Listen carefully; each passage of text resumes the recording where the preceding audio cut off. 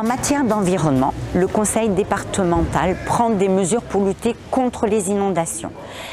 Il veille à la protection des espaces naturels, il valorise et entretient les parcs départementaux.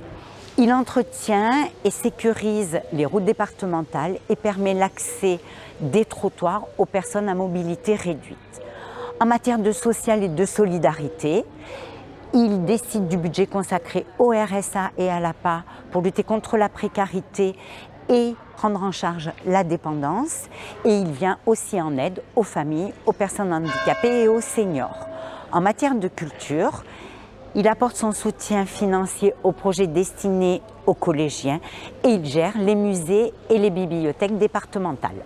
Pour ces élections, vous avez la parole, prenez-la.